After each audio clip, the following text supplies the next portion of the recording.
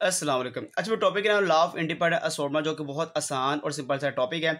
आप इसको एक और भी नाम देते हैं डाई हाइब्रिड क्रॉस मतलब इसके अंदर जो क्रॉस करवाऊँगा, दो खसूसियात, दो ट्रेड का जो क्रॉस होता है देर को डाई हाइब्रिड क्रॉस है। एक जो ट्रेड होगा, वो शेप होगा, जिसमें राउंड और रिंकल दो तरह की सीड होंगे।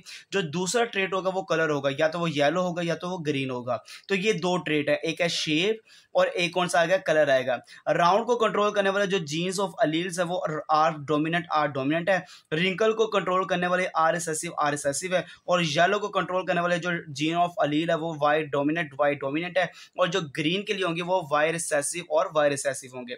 यहाँ पर मैंने ये बताना है, जितने भी जीन्स ऑफ़ अलील्स हैं, इनका सेपरेट होना, ये इंडिपेंडेंट होता है। इनका सेपरेट होना इंडिपेंडेंट है। इस लिहाज से जो मॉडल बना है, जो लॉ बना उसके नाम के इंडिपेंडेंट असोर्टमेंट है।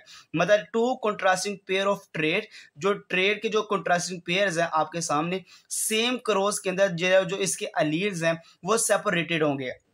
और ये जो अलील सेपरेटेड होंगे, ये इंडिपेंडेंटली होंगे इनटू गैमर्स इस मॉडल को नाम देते हैं, या इस लॉ को नाम देते हैं they are called law of independent assortment तो इन अलील्स का इंडिपेंडेंट सेपरेट होना, इसी वजह से मैं अगेन आपको बता रहा हूँ देर को लॉ ऑफ़ इंडिपेंडेंट असोर्टमेंट है ये देखिए जरा आपके सामने। ये मैं क्रॉस करवाने लगा हूँ, ये पेरेंट्स है। ये पेरेंट का राउंड आपके सामने शेप है और जो कलर है वो येलो कलर है। ये R dominate R dominate round की वजह से Y dominate Y dominate yellow की वजह से इसके पास जीनो टाइप आ गया। ये आपके सामने रिंकल है आर एसेसिव आर एसेसिव आ गया और ग्रीन जो कि वाई स्मॉल वाई स्मॉल आ गया, ये ग्रीन के लिए हम ये यूज़ कर लेते हैं। जब इसके गैमर्स बनेंगे, इसके गैमर्स बनेंगे तो क्या होगा? यहाँ से दोनों होमोजाइगस है, ये दोनों होमोजाइगस है।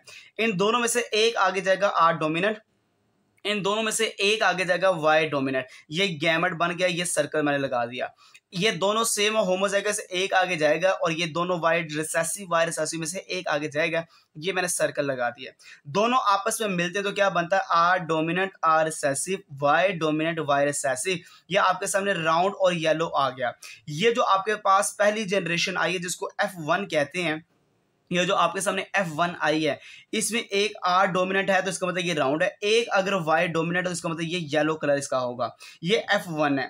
मैं एफ़ वन का एफ़ वन के साथ अब क्रॉस करवाने लगा हूँ। तो ये एफ़ वन का एफ़ वन के साथ क्रॉस करवाते हैं। ये एफ़ वन का, ये आ गया R dominant R S S C Y dominant Y S S C ये आ गया दूसरे एफ़ वन का R dominant R S S C Y dominant Y S S C अब इनके गैमेट्स बनाने हैं।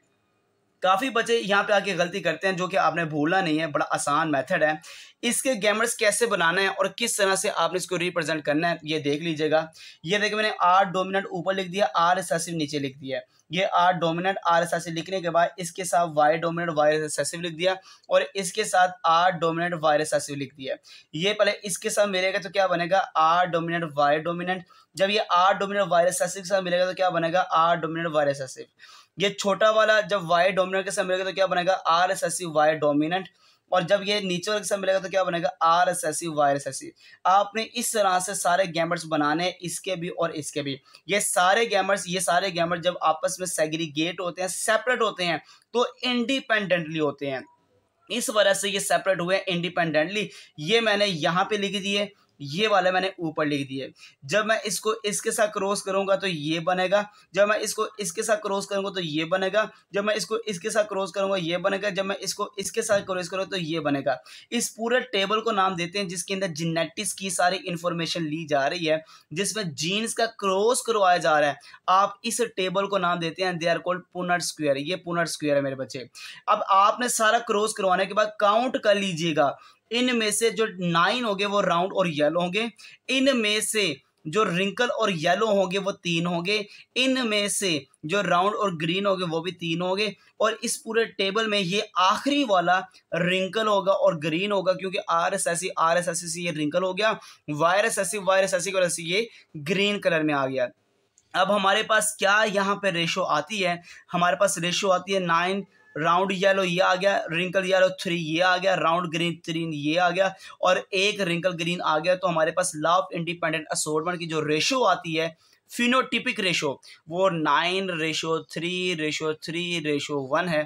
ये आपके सामने जो मैंने मॉडल एक्सप्लेन किया है कि जितने गैमर्स बनते हैं, जितने अलील्स का पेयर सेपरेट होता है, ये इंडिपेंडेंटली होता है therefore they are law of independent assortment है जजाक खैर।